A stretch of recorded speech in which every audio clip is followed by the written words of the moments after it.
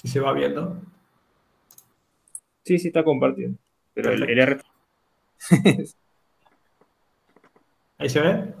Sí, se ve. Bien.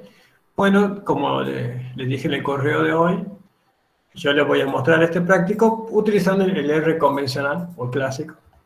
Eh, como verán, bueno, ya tiene sus diferencias bastante marcadas con lo que es el RStudio. Por ejemplo, básicamente se ve el, el, panel, el panel principal con todas las funciones arriba.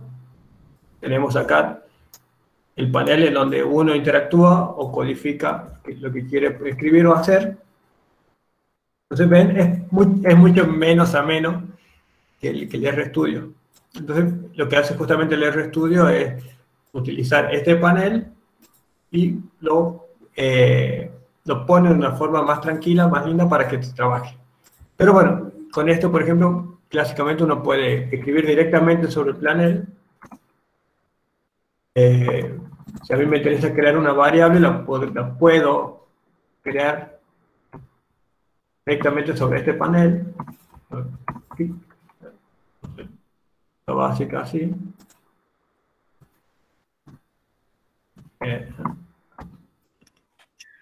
Entonces, uno puede interactuar directamente con el, con el panel escribiendo con la computadora. Pero por motivo de practicidad, es más práctico decir, bueno, yo quiero interactuar con un script. Entonces, vamos acá donde dice archivo, tenemos un nuevo script, abrir script que ya están creados, eh, formas para guardar. Entonces, yo desde el script puedo hacer prácticamente lo mismo. Escribo acá lo que yo quiero hacer y tengo dos formas de darle la, la orden a la, y el comando para que se corra. Una puede ser haciendo clic derecho hacer clic acá donde dice correr, línea seleccionar, entonces lo corro y acá me aparece lo que yo acabo de hacer. Como verán acá los paneles son móviles, uno elige el tamaño que le resulte más adecuado, si quiere que su script sea más grande o más chico, lo mismo con el panel principal.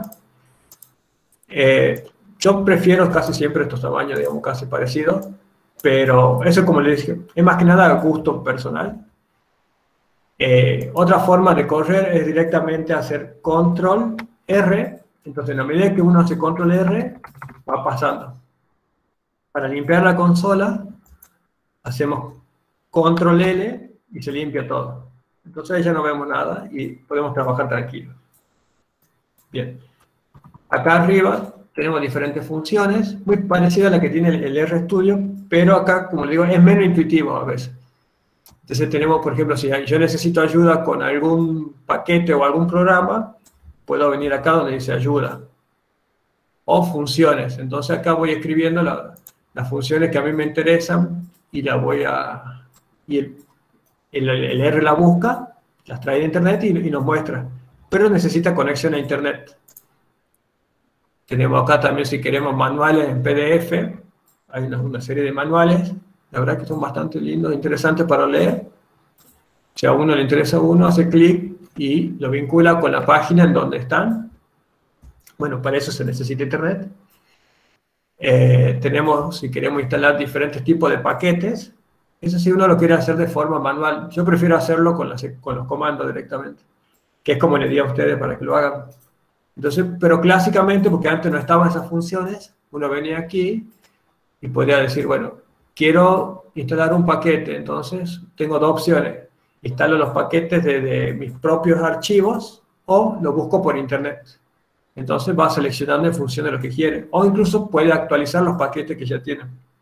Como le dijo Laura ayer, creo, los, los paquetes son grandes compendios de funciones que nos permiten desarrollar diferentes tipos de actividades e interactuar con el R. Y hay prácticamente paquetes para lo que se le ocurra. Eh, creo que en la, primera clase les contaba, hay paquetes para hacer no solamente cosas estadísticas, hay paquetes para analizar eh, eh, sistemas de fotografía, para cuantificar píxeles, para, para, escribir. Bueno, Laura hizo su diapositiva con, con el RStudio, se puede hacer diapositiva. Entonces, prácticamente como es un sistema de programación, en la medida que uno comprende ese lenguaje, le va dando las órdenes y el programa las hace. normalmente, bueno, cuando uno instala el R, si me pregunta si lo quieren de 64 o 32 bits, yo sinceramente nunca vi grandes diferencias. Hay diferen las diferencias quizás son más sutiles a, a, nivel computacional, pero para lo que yo hago y lo que yo necesito, yo prefiero el de 32 bits porque no observo diferencias y ocupa menos memoria. Mm. Eso también tiene que ver, eh, disculpa que me meta, ese 32 y 64 bits tiene que ver con la configuración de la pantalla de cada uno, ¿verdad? Sí, con la configuración de la pantalla, con la calidad de cómo vos visualizás los análisis. Sí. Porque eso lo, lo, también el grado de, cómo procesa la información y los píxeles, viste, como las definiciones. Eh, es como uno, más, más para uno, cómo, lo, cómo interactúa, cómo lo ve. Yo lo personal... Sí hay que, hay que tener, estar atentos al formato que uno le haya puesto en la compu también, porque a veces si vos tenés de 32 y bajás el de 64 no te va a funcionar. Puede ser un poco incompatible. Por eso es. Mm. Yo lo, lo, personal, yo como prefiero tener la memoria para otras cosas también, porque yo trabajo mucho con, con videos, eh, cuando filmo animales vivos, para los videos de comportamiento, y cada video me ocupa muchos gigas a veces. Entonces necesito tener sectores de la, memoria de mi computadora más libres o con muchas fotos, porque también trabajo con, con sistemas de fotos. Entonces, en ese sentido digo, bueno, prefiero trabajar con este que me ocupa menos memoria y la verdad que yo no siento que, que pierda mucho. La verdad no siento ninguna diferencia. Pero bueno, no sé si capaz que alguien que trabaja con 64 bits y que sabe más de, de computación me, me podría explicar bien las diferencias, pero sinceramente yo no, la, no, las veo. Para el práctico, bueno, eso sería básicamente la, la, presentación de lo que es el R. Como verán, el R Studio es más ameno y es más intuitivo. Eh, bueno, a mí me pasó cuando comencé a, cuando hice mi primer curso, de hecho fue el primer curso que hice durante mi doctorado, fue una estadística 3 en R, entonces que no sabía ninguna de las dos, eh, bueno, ahí comencé a interactuar con este sistema y bueno, de un momento, bueno, pasó a ser útil, me gustó y ya me quedé con este. Pero como le dije en el correo cada uno, en definitiva, después elige. Por ahí para comenzar, creo que el RStudio es una buena forma de comenzar. Y después lo que tiene este, bueno, es que es más, más, un lenguaje más de programación es menos intuitivo, entonces uno tiene que escribir más o interactuar así como un poco más directo con el programa.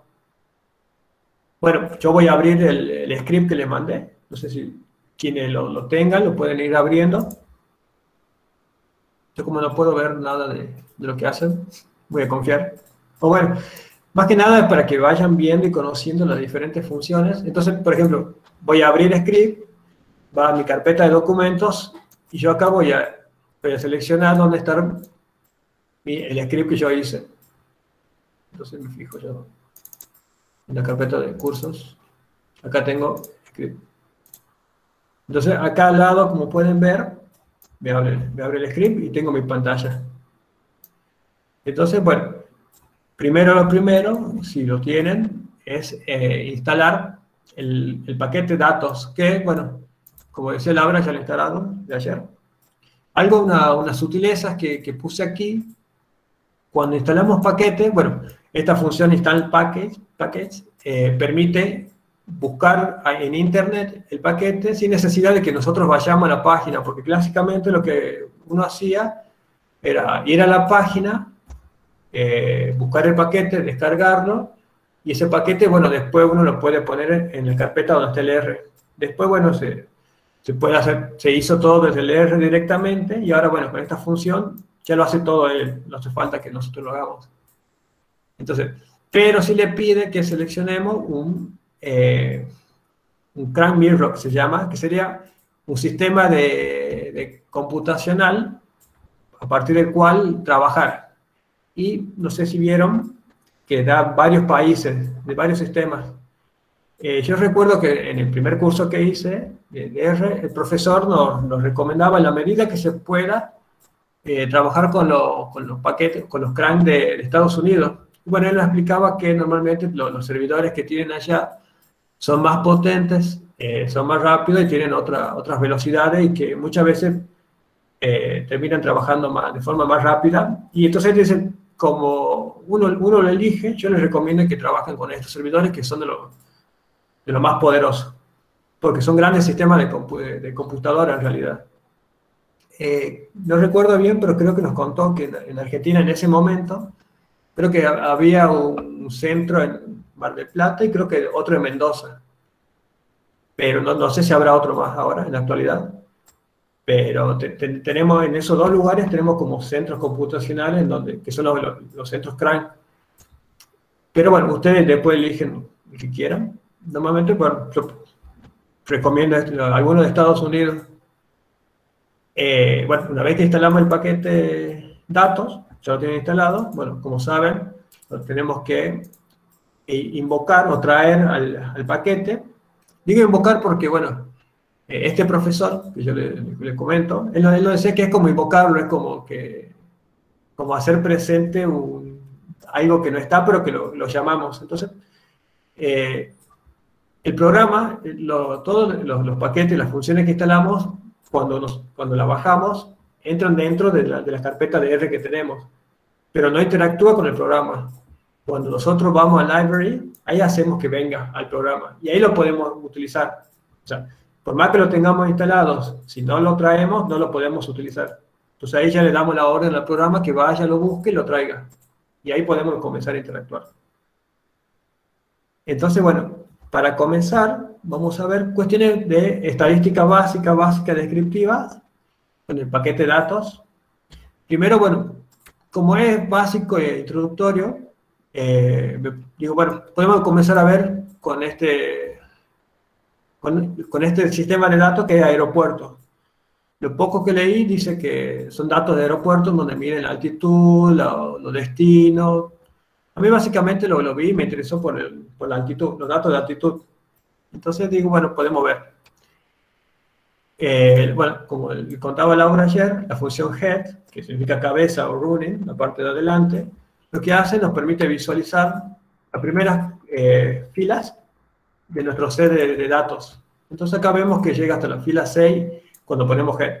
Esta es una forma rápida de visualización de nuestras tablas, en la cual podemos ver qué variables tenemos y ver la, conformación, pero de forma muy rápida, no es eh, a detalle. Pero bueno, esto nos permite ver y decimos, bueno, tenemos los códigos del aeropuerto, tenemos los nombres de la, de la, del aeropuerto, los datos de latitud, longitud, altura, la zona horaria, perfecto.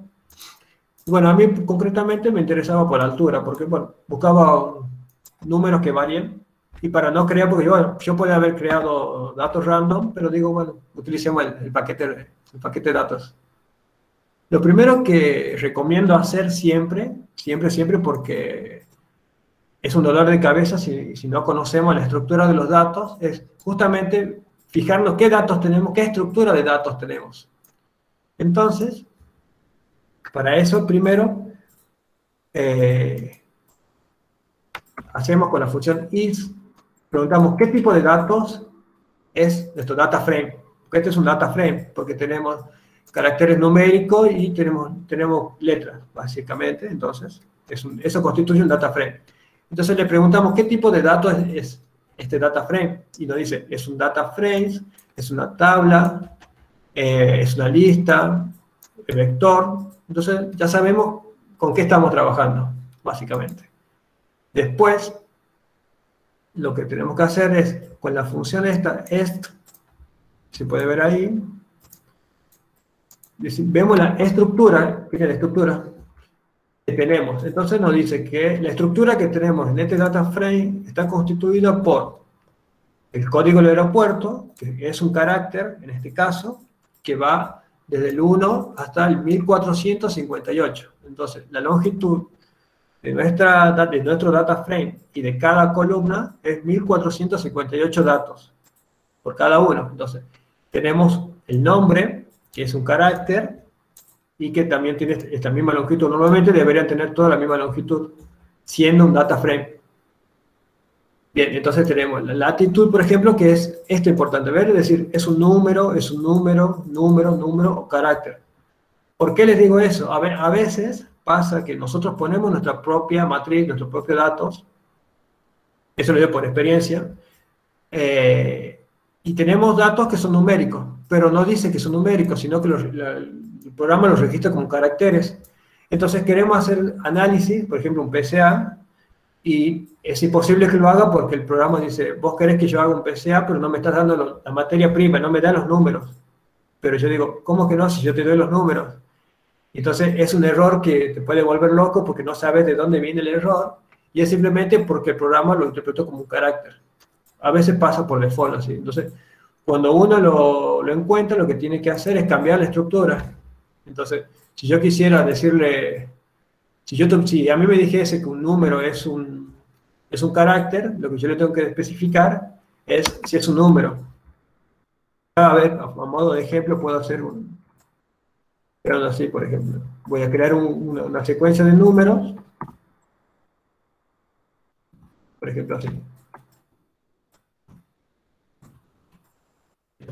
Entonces creo un elemento S, que son 1, 2, 3.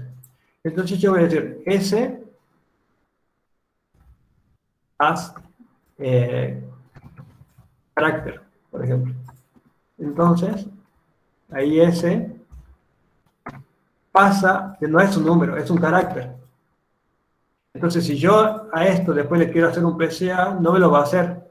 Y yo no voy a saber por qué, porque crees que es un nombre, justamente. Entonces, lo que yo le tengo que decir, no, yo no quiero que ese sea un carácter. Ese tiene que ser un número. Entonces, yo acá, de la misma forma, le digo numeric. Entonces, ahí ese pasa a ser un número y yo me fijo si ese es un número. Entonces me dice si es un número y es un vector. Que si yo lo hago así, me dice, es un carácter, es un vector, es un data frame, es cualquier cosa menos un número. Entonces yo cuando quiero hacer un PCA, una correlación, un, un análisis de correspondencia, mm, es imposible que me tome y yo me vuelvo loco porque digo, pero si ahí está mi número, ¿qué, ¿cuál es el error? Y uno puede pasar mucho tiempo, perder mucho tiempo. Entonces, para evitar todas esas cosas, siempre hay que fijarse la estructura de los datos con esta función es. Entonces, si por algún motivo la estructura de los datos no corresponde con lo que tiene que ser, yo tengo que cambiarlo, haciendo de esta forma, diciendo haz y escribir lo que yo quiero que sea. Un carácter, un número, un, un factor, y así después lo, vuelvo a poner y puedo proseguir. Eso es como una gran recomendación que les puede ahorrar dolores de cabeza. Después, bueno, acá vemos, como le contaba Laura, el signo de este peso o dólar, no sé, es peso creo, me faltan los dólares. Eh, este signo dólar, lo que, lo que nos dice es, eh, nos permite unir el nombre de nuestro data frame con cada una de las variables. Entonces, por ejemplo, eh, tenemos acá. Si yo quiero ver una variable en particular, lo que tengo que hacer, voy a separar acá porque capaz que no se ve. Es decir, bueno, mi, data frame se llama aeropuerto. Eso yo ya lo sé, es lo que yo abrí. Y le digo, de aeropuerto necesito ver la variable que dice nombre, por ejemplo. Entonces digo, anda a nombre y mostrarlo. Entonces yo vengo acá, hago control R y me muestra todo lo que está dentro de esa columna. Como verán, va del 1 al 140, 150, 1458. Perfecto. Así uno puede hacer exploración de datos, puede ir viendo cada columna, una por una manualmente. Si a mí me interesa ver uno en particular, acá vemos lo que son la estructura de corchetes. Entonces, dentro de toda esta columna, a mí me interesa ver el primer nombre, entonces escribo entre corchetes el número 1. Y le estoy diciendo yo al, R y al programa, por favor, necesito que la primera columna me mostre el primer nombre. Lo quiero ver porque tengo dudas. Entonces me dice, sí, por favor, mira, es este. Perfecto, le digo. Y ahora yo quiero ver el segundo. Entonces hago lo mismo, pongo el 2, este corchete. Entonces es la forma que uno tiene de entrar a estos niveles de subconjunto y ver, visualizar o individualizarlo si es que lo necesita para algo. Entonces me dice, sí, mira, tu segundo dato que tenés, tu segundo punto en esa columna es este. Bien. Si a mí me interesa ver un rango, entonces utilizo los dos puntos, que son estos. Y digo, bueno, ahora yo quiero ver el rango que hay entre el 1 y el 6 de los nombres. Bueno, ¿lo querés ver? Entonces ponemos 1, 2.6. Y nos muestra acá los seis primeros valores que yo le digo. Si a mí me interesa otro rango del 5 al 9, corro y me fijo. Y así yo puedo ir seleccionando, viendo cada subconjunto de ese gran conjunto. Si a mí me interesa uno en particular, lo puedo tomar, aislar y trabajar por mi cuenta. Hay algo muy, muy interesante que dijo Laura hace, bueno, al principio de la, clase, es que R tiene múltiples, eh, múltiples funciones y diferentes formas de, diferentes formas de llegar a ella, digamos. Quizás para hacer lo mismo, uno puede hacerlo de una forma o de otra o de otra, pero bueno, después cada uno va eligiendo la, la forma que más les guste. Es como todos los caminos conducen a Roma. Uno tiene múltiples caminos para llegar a, lo mismo. Entonces, bueno, de esta forma es otra, otra forma en la cual uno puede nadar dentro de estos, estos subconjuntos y extraerlos a través de los corchetes. Si a mí me interesa otra variable, por ejemplo, me fijo, vuelvo a mi estructura, me fijo, a ver, latitud, bueno, a ver, me fijo de latitud, tengo acá, la latitud, entonces voy a ver el primer punto de la latitud, ¿qué me pasó? Ah, se me borró un corchete, así lo pongo el corchete acá, y me da el valor de latitud, ya así digamos para lo que yo quiera, en mi set de variables. Bueno, una vez hecho, o bueno, explicado esta parte, que es básicamente exploración básica, vamos a lo, que sería la, primera parte del trabajo práctico, que más que un trabajo práctico eh, para que ustedes vayan haciendo, a mí lo que me interesa es también que le quede el script para cuando tengan que analizar sus datos y sobre todo para la parte de la supuesta normalidad que vimos que son, hay que hacerlo sí o. Entonces, si vamos por las medidas de tendencia central primero, vamos a ver dentro de la variable altura, ya seleccioné esta variable random, digamos, para mí porque me interesaba que tenga números. Entonces, veamos la variable altura. Yo tengo muchísimos números, 1458 números básicamente, que es mi variable altura y yo quiero ver cuáles son mis descriptores. Entonces me fijo. El primero, la media. Entonces, acá tenemos una función min. Min es media en inglés. Entonces, yo voy a crear un objeto que se llame m mayúscula y le digo, bueno, crear un objeto llamado m que contenga la media de la altura de todos los datos. Entonces, recuerden, min es para media, es intuitivo casi. Entonces, pero el objeto M, lo aprieto y me fijo. Entonces, acá me da un valor. Entonces me dice, este valor es el valor promedio de todo este set de datos.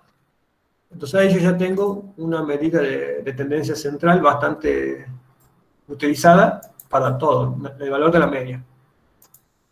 Si a mí me interesa calcular lo que sería la, las medianas, entonces voy a aplicar la función media como, bueno, recordando lo que recién les dije, la mediana es ese valor o es ese punto que es 50% más grande que lo más chico, que es más grande que el 50% más chico, pero es menor que el 50% más grande. Entonces, como verán, si yo tengo 1458 valores, encontrar ese valor a mano o calculándolo puede ser un dolor de cabeza. Entonces, lo práctico es que la computadora lo hace. Entonces, la función media lo permite hacer. Entonces yo hago control R o lo corro y acá creo mi objeto llamado mediana. Entonces me fijo. Lo que me dice que el valor 473 de altura, en este caso, la altura 473 es mayor que el 50% más pequeña y es menor que el 50% más grande. Entonces, por ejemplo, miren qué interesante si comparamos la media y la mediana, cómo difieren. La media nos está diciendo que en promedio los valores son mucho más altos que este valor mediano. Entonces, bueno, de esta forma obtenemos la mediana. Ahora vamos a ver lo que sería la moda. Para la moda, como implica hacer un análisis de casi de, frecuencia, eh, es necesario instalar este paquete, que acá lo dejo, que es el paquete ModeEst. No sé si quieren que espere para que lo carguen o si sigo avanzando. Ustedes me avisan. La mayoría, a ver, ¿qué opinan? A mí el paquete se instaló rápido, la diferencia de los anteriores, así que Perfecto. podemos. Bueno, si la mayoría lo puede instalar, yo espero un minuto y de ahí seguimos. Chao.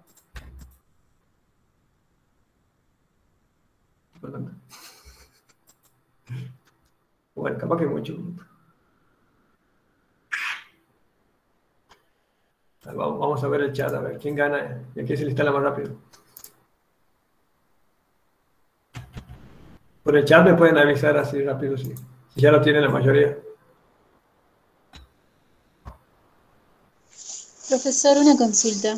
Para crear un data frame con los datos propios, este, no sé si es un tema que lo vimos en la otra clase, tengo que ver todavía la grabación, pero... No hay problema. Em, ¿Cómo es que tenemos que ver? Eh, o sea, ¿lo explicaron ahí o cómo hacer un data frame con los datos propios?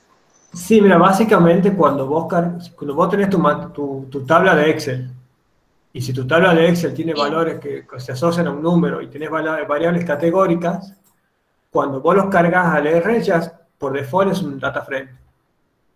si lo tenés que crear, sí, lo tenés que crear acá, por ejemplo, vos creas una variable que se llame A, que tenga número. Una variable X, no sé, 1, 2, 3 variable A. Voy a, y la variable B que tenga letras. Entonces yo hago, siempre a las letras hay que ponerle con, con las comillas, con los puntitos. Hago una variable así, que tiene letra, B, vamos a hacer como yo la mejor. Ahí ves. Entonces, ahí, ahí tengo una variable A y una variable B. Entonces yo voy a hacer ahora un data frame que se llame, vamos a poner cc. Le voy a decir a cc, por favor, hacerlo un data frame, hay que escribirlo, en donde esté A y B. correcto. Y vos acabas de crear un data frame llamado cc grande, donde está constituido por dos variables, la variable A, la variable B, la variable A tiene los valores 1, 2, 3, la variable B tiene un factor categórico ABC. Entonces vos te fijas, quieres saber si realmente es un data frame, entonces preguntas is CC, ¿qué es CC? Data frame. Y te dice, es un data frame, es una lista, all class vector.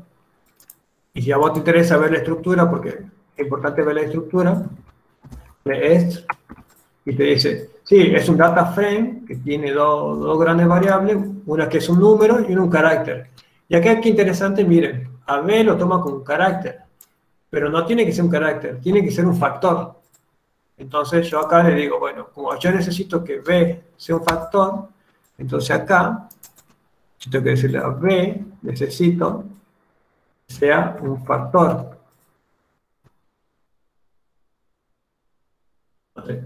Si yo le digo que B tiene que ser un factor, miren, que ahora me dice, B es un factor llamado con ABC y tiene tres niveles, ABC.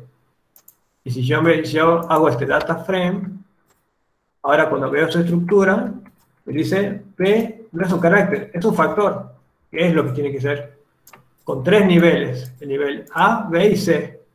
Por eso es muy importante siempre controlar la estructura de los datos, porque a veces nuestros factores no están puestos como factores y tampoco cuando queremos hacer cierto análisis nos salen por default errores y no sabemos de dónde vienen. Y es porque justamente viene desde el principio. Entonces, otro punto para controlar la estructura. Bien, profesor. Gracias, gracias. De nada. Bueno, una vez que instalamos este paquete, lo traemos con el library. Entonces hacemos library, es que cargue un poco. Cómputo un poco. Se actualiza el Windows y se pone lento. Bueno, ahí creo que lo actualizó, todavía no. Bueno, Entonces, la función que, con la cual trabaja para hacer la, la moda es MLB. Entonces yo le digo, bueno, para mis datos de alturas, necesito que me calcules la moda. Este es para variables continuos, para números básicamente, porque no es lo mismo trabajar con variables categóricas cuando uno tiene que analizar frecuencias. Entonces, lo calculo, me dice que, bueno, en este caso puntual, la moda o el valor más frecuente es cero, en mi ser altura. ¿Se lo dice? Si yo quiero ver ahora una variable que sea categórica, la moda, que es lo que decía recién, entonces podemos ver, por ejemplo, bueno, ya que lo, lo crea la, la crea la variable categórica, ustedes lo pueden correr igual. Vemos que tenemos la función rep, que básicamente es repetir. Yo le digo, bueno, crea un objeto llamado A que contenga 15 veces la palabra A chiquita, A minúscula. Y así lo mismo acá, crea un objeto B que contenga 25 veces, esta es la cantidad de veces, la, eh, la B corta. Y así con la C. Lo hago, lo hago. Y acá creo un objeto X llamado BD, le puse cualquier objeto, entonces vemos que este objeto BD está compuesto por factores ABC con diferente cantidad de veces que se repite. Entonces uno viendo a priori ya sabe que B debería ser la moda acá. ¿Por qué? Porque es el que está en mayor frecuencia. Entonces vamos a ver, vamos a calcular con la misma función sobre BD pero le decimos acá que el carácter es discreto. Entonces, hacemos la función, control e, y me dice efectivamente es B. Si yo acá hubiese puesto que C vale 30, entonces es más que B. Entonces yo esperaría que la moda acá sea C, y C efectivamente. Lo que sería interesante probar, no lo hice, es qué pasa si los datos son iguales. Creo que si los datos son iguales, quizás haga un error, porque no, habría ninguno que sea mayor frecuencia. A ver, me fijo para jugar un poco. Entonces, ah, bueno, la moda es ABC en este caso porque están en tres, están, igualmente probables los tres. Bien. Entonces, volviendo a la, a la clase, entonces vimos cómo calcular la media, la moda y la mediana. La mediana y la moda. Esta función eh, summary, que es básicamente resumen en inglés, es la que le mostró Laura ayer. Cuando nosotros hacemos summary de la variable que nos interese, veamos que nos resume diferentes tipos de información. Por un lado nos dice el valor mínimo que toma la variable. Acá vemos, extrañamente, a mí me llamó la atención, creo que tomaron mal el dato, entonces miren cómo uno encuentro errores también, encuentro un valor de altitud menos 54 y no es bajo el mar, entonces es un error.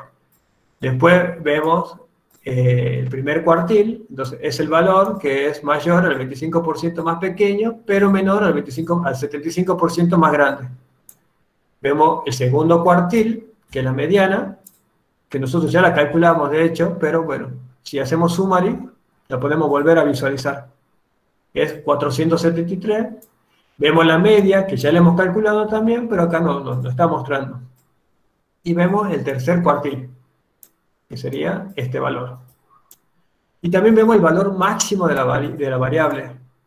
Entonces podemos observar que con la función summary, si no queremos hacer todo, todo este, este tipo de, paso a paso, pero bueno, para, la, para el examen sí lo van a hacer, eh, directamente le da toda la, información de forma resumida. Pero no nos da, por ejemplo, la moda. Entonces, la moda les recomiendo, si la tienen que sacar o la tienen que explorar, utilicen este paquete y la saquen, dependiendo si es continua o si es discreta. Acá tienen que cambiar el método. Bien. Acá vemos. Si voy rápido. El, error que te da es el, cuando te sacamos hace rato el rango. Sí. Como el, es negativo, cuando está el máximo, pero el mínimo se termina adicionando ese valor. Por eso te da el rango de 9132. ¿A dónde, dónde? ¿Acá? ¿Dónde? Ah, voy a decir el rango, claro. Sí, lo que hace te lo suma, para que vea lo que te puede costar un error de signo. Claro, Porque no lo debería sumar, lo debería restar y debería quedarse con el, con el valor absoluto. Sí. Pero sí, justamente yo cuando hice el práctico noté que me daba un valor mínimo de menos 54. Entonces dije, capaz que lo tomaron bajo el mar, pero es imposible. no hay aviones bajo el mar. Y entonces dije, es un error de toma de datos o se le pasó a, los autores, porque estos son datos que son tomados de publicaciones, todo. No sé. Eh, pero te puede acarrear ese tipo de error. Entonces, recomiendo siempre que tengamos nuestros datos que hagamos esta exploración, porque a veces se nos, puede pasar a nosotros de tener un, signo mal puesto y nos cambia todo. Y, no nos damos cuenta. O a veces a mí me pasó que el, Excel, eh, por algún motivo, me cambia las comas para, por, los puntos y, me, pone otros valores después. Que yo cuando hago el análisis, no, esto no corresponde y es porque el Excel a veces se, confunde un poco cuando, tenés mucho datos. Bien. Eh, Ahora vamos a ver lo que serían las medidas de dispersión. Sí, a ver, mínimo. Sí, esto es. medida de dispersión. Entonces, primero para ver la varianza. Entonces lo que hacemos es, con la función var, es bastante intuitiva, decimos, bueno, quiero ver la varianza de esta variable. Entonces la creo, y me dice, este valor de la varianza, que es terriblemente grande. Entonces, ¿por qué? Porque hay valores que tienen cero. ¿Sabes por qué? Mira, a la chica que me preguntó, perdón, no me acuerdo el nombre, que me preguntó qué pasa con, con las variaciones muy grandes. En este caso, el error de tener menos 54 como un valor mínimo y un valor máximo de 9.778, es como el rango que me hablabas vos, Samuel, creo, hace que la varianza sea terriblemente grande lo cual no es así. Pero como está este error, eso produce un, efecto, digamos, una sobredispersión terrible de la varianza. Interesante. Entonces, vayan viendo, lo, importante es que ir explorando los datos cuando uno los tiene, porque así uno va encontrando los errores que uno comete, porque no suele pasar. En este caso, la varianza es enorme porque hay un menos 54 que no debería estar, la varianza debería ir desde cero al, nivel del mar hasta este valor quizás, por encima del Everest. Bueno, eh, ahora vamos a ver el desvío. Entonces, como la, el desvío es la raíz cuadrada de la varianza, lo que tenemos que hacer simplemente es sacar la raíz cuadrada. Raíz cuadrada para el R es escribiendo esta función. SQRT square, no sé, eh. Entonces la ponemos, roots, gracias, square root, y ponemos. Entonces, este valor es el desvío, es básicamente la raíz cuadrada de la varianza, que también sigue siendo terriblemente grande por el error este que tienen acá de menos 54. Bueno, está, está bueno justo haber dado este ejemplo con error porque nos permite ver los efectos que tiene a veces uno de no controlar los, datos como corresponde. Y abre la puerta a la gatita. Salga. ¿No? Es bonita. Bueno, ya la van a conocer. Bueno, eh, ¿en qué estaba? La función, acá. Ahora vamos a ver cómo calcular el error estándar. Eh, como saben, como, bueno, como recuerdan, les recuerdo si no, el, error estándar me da a mí ese intervalo de confianza para decir la media está entre este valor y, este entre valor.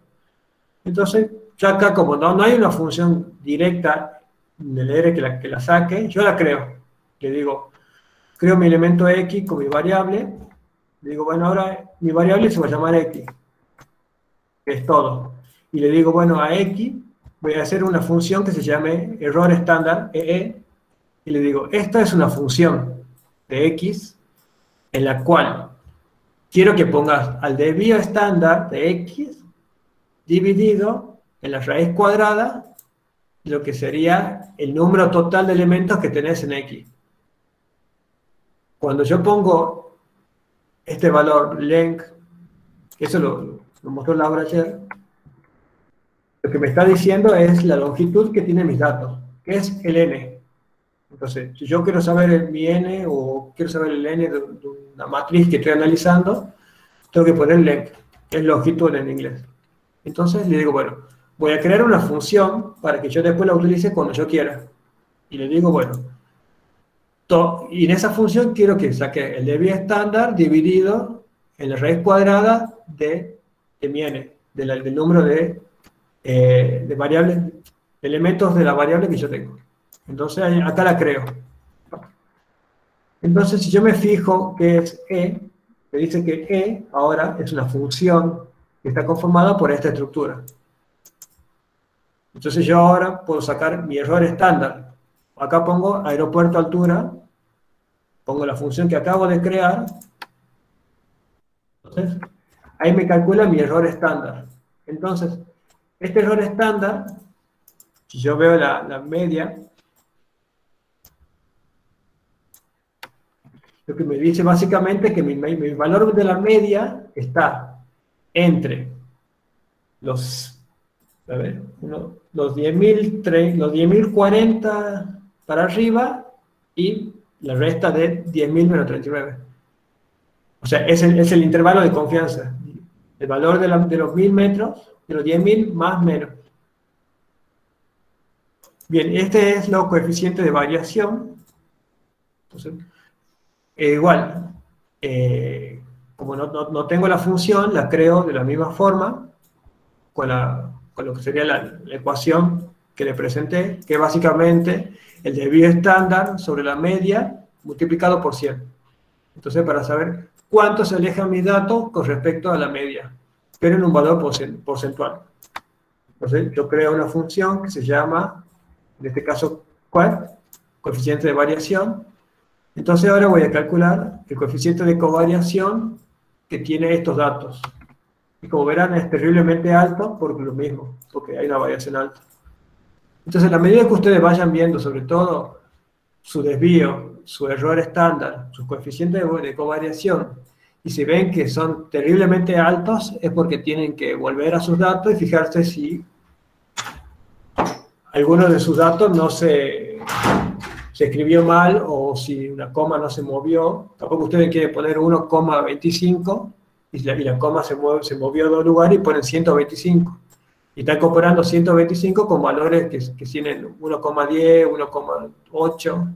Entonces eso va a generar una dispersión terrible de la varianza. Un outlier también. Entonces es importante hacer todo este tipo de exploraciones de forma eh, estadística, eh, con las medidas de dispersión y también de forma visual. Bien. Entonces, acá, como hablaba Samuel, estos son los rangos. Yo quiero calcular los rangos y me debería dar, a ver qué me da. Bueno, en este caso me da estos valores, porque es el valor máximo menos el valor mínimo, básicamente el rango. Pero bueno, yo lo confío porque hay un menos 54 que no debería estar. Tendría que ser de 0 a, a eso. El, rango real es... Entonces, hasta acá llegamos con lo que serían los descriptivos básicos de medida de tendencia central y medida de dispersión. Ahora les voy a mostrar los supuestos de normalidad y vamos a ir viendo. Como les dije, esto lo tienen que hacer en la medida que se pueda cada vez que, que analice sus datos. Primero voy a limpiar mi pantalla porque hay muchas cosas, entonces hago control L. Esto me limpia la pantalla, pero no me borra todos los objetos que hice. Yo quiero volver a ver las cosas que hice, las puedo ver. Bien. Entonces, bueno, yo ahora voy a explorar los supuestos de normalidad. Bueno, el primer supuesto de normalidad dice que los residuos se tienen que distribuir de forma normal. Entonces vamos a hacer dos, las dos pruebas que les mencioné. Por un lado, la prueba de Shapiro y por otro lado, la prueba de Kolmogorov. La de Shapiro es para un n menor de 50. Entonces, cuando ustedes tengan datos o un n que no llegue a los 50 o llega a los 50, inclusive, pueden hacer un Shapiro. Si ustedes toman datos y son muchísimo más que 50, les recomiendo la de Kolmogorov. Bien, acá les puse, para la primera prueba se usa esta función, Shapiro test, y para la segunda KST. Entonces acá también tomé un dato, una variable cualquiera, utilicé flores, que está dentro del paquete de datos. Entonces, de rutina me fijo qué es flores qué tiene flores. Entonces yo hago get flores y me dice, bueno, las variables que tiene son el largo de los sépalos, el ancho de los sépalos, el largo de los pétalos, el ancho de los pétalos y tipo de especie que pertenece. Perfecto. Pero no me dice la longitud, simplemente me dice cómo está constituida la, la parte de arriba, la cabeza. Entonces me fijo la estructura ahora.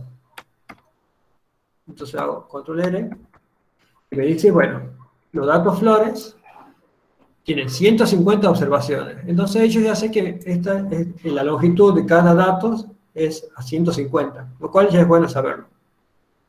Me dice que eh, todas las variables son numéricas, salvo especies, que es un factor con tres niveles. Entonces, básicamente hay tres tipos de especies.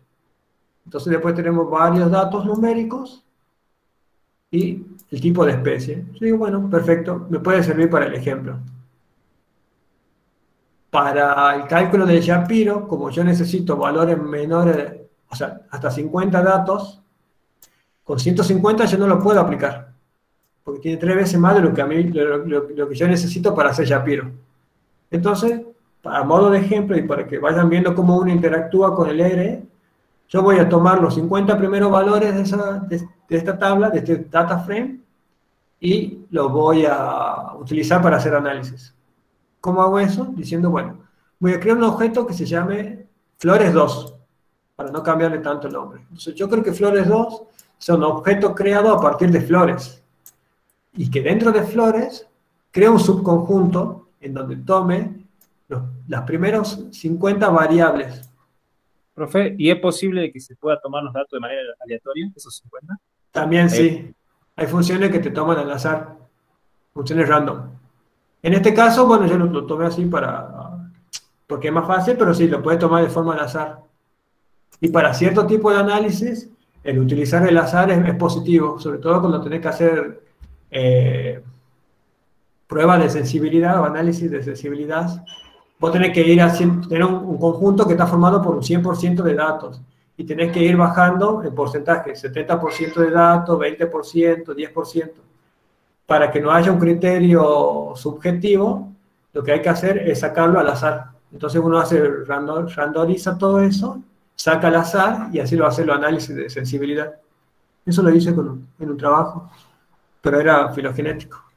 Bueno, entonces creo el objeto flores 2, les digo acá que, yo quiero los primeros 50 valores porque quiero hacer el Shapiro. Entonces, como ven, pongo la, estructura de los corchetes, porque eso me permite ir adentro, crear este subconjunto. Entonces ahora tengo flores 2, y como verán llega hasta 50.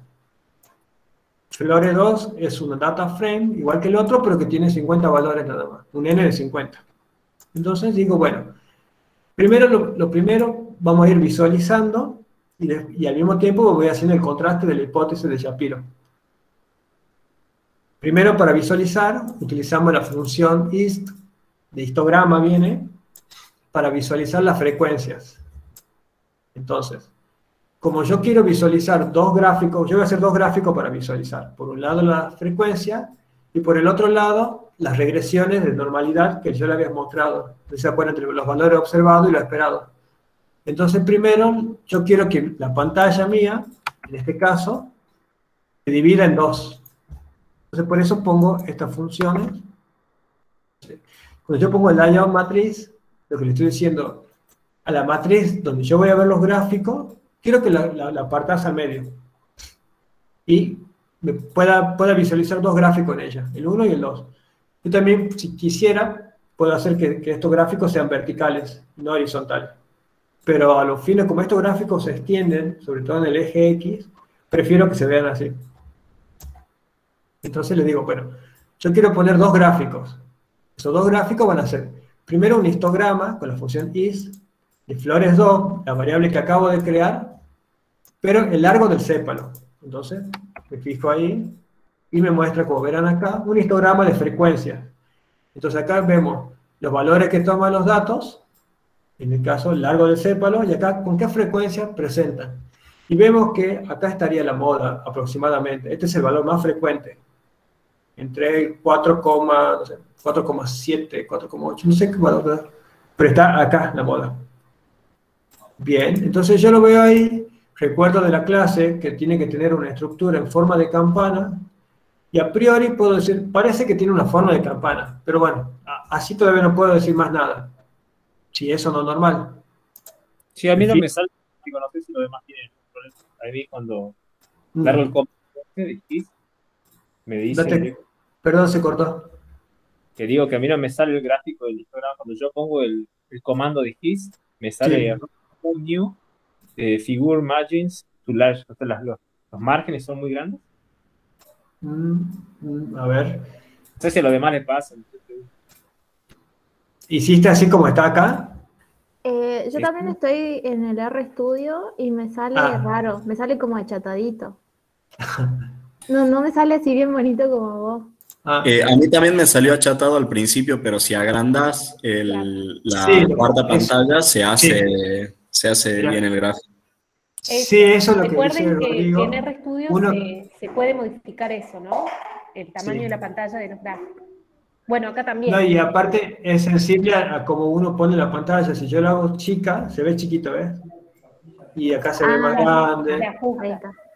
sí. Tenía que agrandarlo más, digamos. Estaba grande, pero tenía que agrandarlo más ya. Claro, acá lo, maximizo y mira cómo queda extendido. Claro. Pero queda chatito, porque abajo voy a poner otro. ahí está, ahí está. ¿Sonita? Sí, bueno. Entonces, ahí tengo, tengo que ver si tiene la figura de campana, básicamente. Ese es el primer, primer gráfico que hago. El segundo gráfico es el que se conoce como el QQPlox. El QQPlox hace un gráfico de cuartiles eh, similar a los modelos que uno espera cuando, cuando tiene que ser datos normales. Del gráfico ya le mostraba entre lo observado y lo esperado. Ahora le muestro hago este gráfico,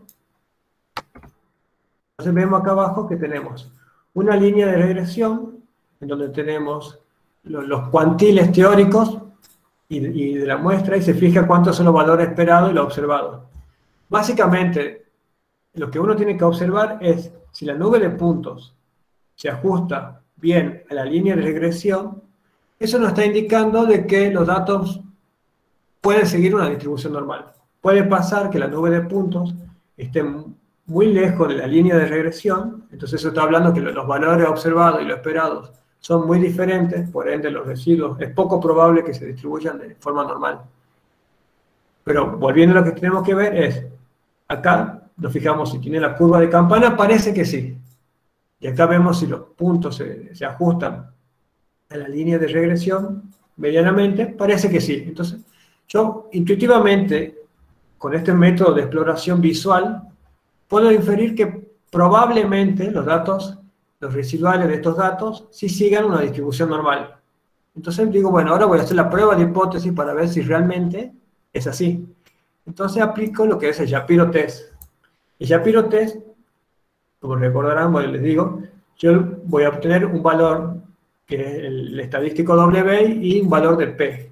Si el valor de P es alto me está diciendo que es muy probable que los datos de mi muestra provengan de una población con distribución normal.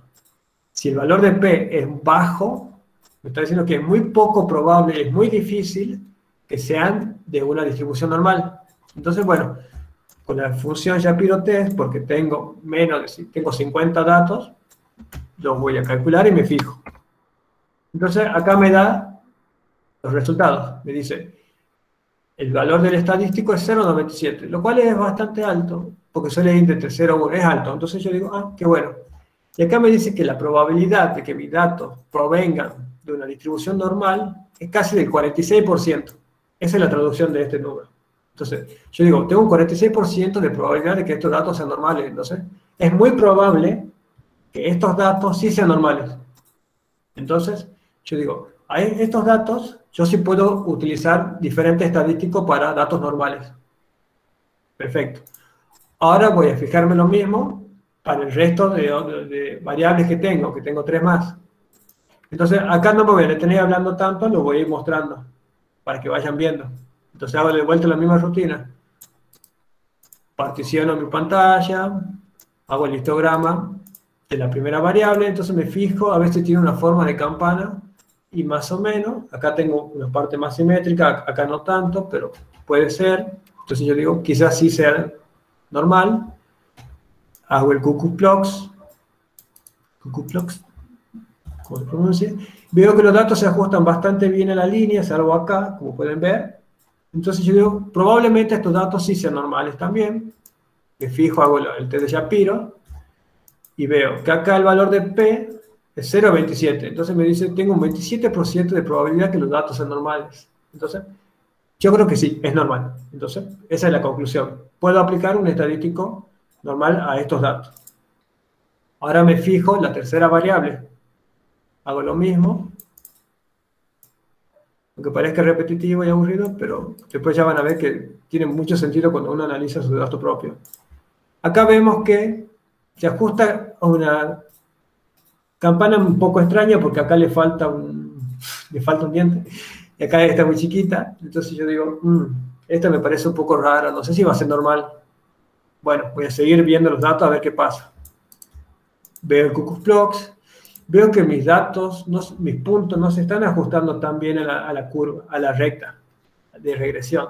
Entonces, mm, tengo dos indicios visuales que me están indicando que probablemente los datos no sean normales. Bueno, voy a hacer efectivamente la prueba de Shapiro y me fijo en el valor de probabilidad que tiene. Me fijo y me dice que el valor es 0,54. Entonces, me está diciendo que tengo un 5,5% de probabilidad de que estos datos sean normales. Casi que sí, casi que no. Por definición serían normales, pero casi que no. ¿Por qué? Porque por definición tiene que ser menor o igual al, 5%. Este llega por así, entonces igual yo lo tomaré con pinza este, en este caso, porque es casi que no es normal. Entonces, está ahí al, borde, al límite. En ese caso, Mario, yo mis datos los puedo convertir o transformar aplicando el logaritmo para... Sí, si vuelve a hacer, por ejemplo, a ver, mira, vamos a probar qué pasa si lo logarizamos. Eh, ¿Cuál es? ¿El 3? ¿Sí, no? yo me fijo, mira, y de paso, por ejemplo, hago esto, tomo la variable,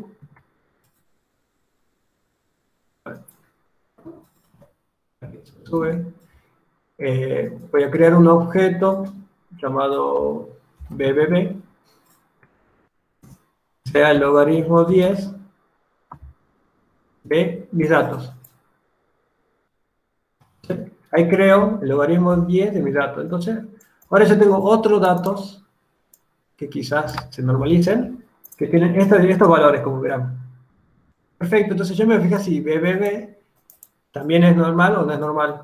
Entonces, acá reemplazo, hago un histograma de BBB, B, y me fijo, digo, uy, parece que, parece que no, porque acá tengo una, buena parte que le, que le falta. Me fijo ahora eh, ¿Dónde está el histograma? Acá. Me fijo el cuckoo-clocks, BBB. Me fijo, digo, tiene tendencia positiva. Tiene tendencia, pero no sabemos todavía. Entonces, el que le va a dar la última palabra va a ser el, Yapiro. Entonces vemos que se ajusta, pero no tanto. Y si le hago el Yapiro a BBB, BBB Dice, a ver. En este caso es peor porque no lo normaliza, además. Lo, lo pone más anormal. Entonces, mi conclusión es que si yo quiero normalizarlo, el logaritmo base 10 no es una buena opción. Entonces yo puedo probar otra forma de transformación, si yo quisiera. Entonces le puedo decir, quiero el logaritmo neperiano. Entonces, esto es el logaritmo neperiano. Son otros valores ¿Qué pasa si saco todo? Yo me fijo así rápido, me dice, no, tampoco lo normaliza. Entonces, es muy probable que estos datos no sean normales ya de base, porque la variable cruda está al límite. No se están transformando con esta forma. Podría probar otra forma de transformación, eh, raíz cuadrada, raíz cúbica, pero si no se normaliza, no se normaliza. Claro, son muy poco confiables los datos.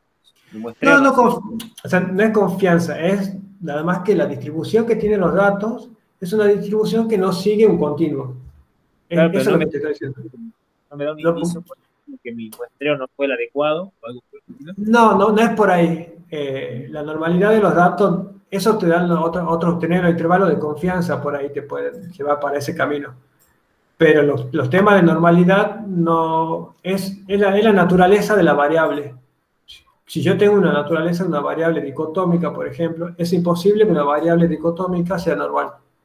Entonces, y, pero es muy confiable. Por ejemplo, si yo quiero ver la presencia del tucán en mi casa, yo estoy las 24 horas sentado viendo si viene el tucán y lo anoto, esos datos son muy confiables porque yo estoy 24 horas sin dormir viendo el tucán. Pero esos datos no van a ser nunca normales porque siempre tienen dos columnas, presente y ausente, y no sufren, los tienen un, sí, y no tienen un continuo. Entonces, son buenos datos, son muy confiables, pero es imposible que, que sean normales eso ya depende de, la naturaleza de la, de la, variable y del dato. Entonces, la naturaleza de este dato, que es el largo del pétalo, pues hay que ver, digamos, no sé de qué flores será, me está diciendo que tiene una distribución que no sigue una normalidad o que la sigue, pero así casi, en la variable cruda. Eh, a ver. Bueno, acá. Bueno, la cuarta variable. ¿sí? Disculpa que te corte. Eh, viendo la hora, ¿Te parece que, porque varios chicos que se tuvieron que ir, claro, ¿te parece que damos eh, por terminado hoy? Y Dale, mañana, sí, mañana parte y, lo, y, lo, sumo al otro.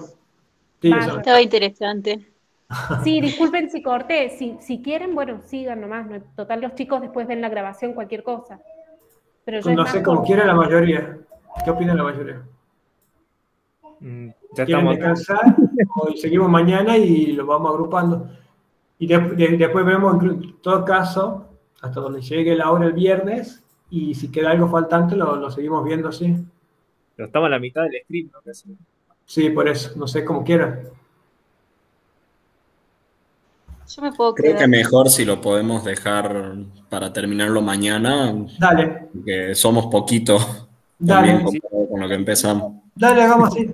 Mañana lo, lo quedamos acá. De acuerdo. Perfecto. Bueno, espero que se haya entendido más o menos la clase de hoy. Mañana vamos a seguir viendo otras cosas. Lo importante es que ustedes lo sepan.